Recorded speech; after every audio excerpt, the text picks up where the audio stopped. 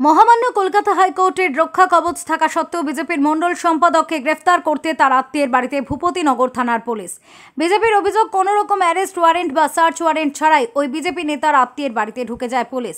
মহামান্য কলকাতা হাইকোর্ট থেকে রক্ষা কবচ পেয়েছেন ভগবানপুর বিধানসভার বিজেপির মণ্ডল সম্পাদক পবিত্র মিদ্যা সহ একুশ জন।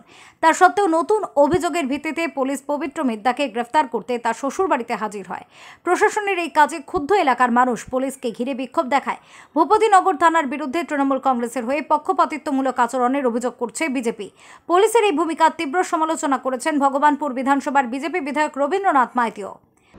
জানতে চান এবং ওখানকার নাগরিকরা জানতে চান যে কি জন্য আপনারা এই গ্রাম্য অনুষ্ঠানে উপস্থিত হয়েছেন এবং কী কারণে, তখন ওনারা কিছু বলতে পারেননি।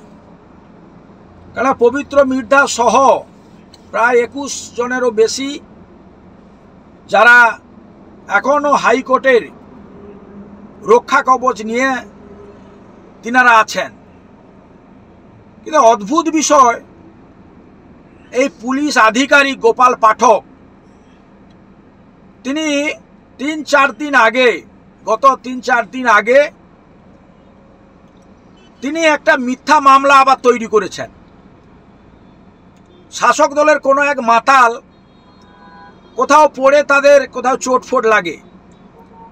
সেই মাতাল গোপাল পাঠক তাকে তুলে নিয়ে গিয়ে complain bureau report Onkar Bangla.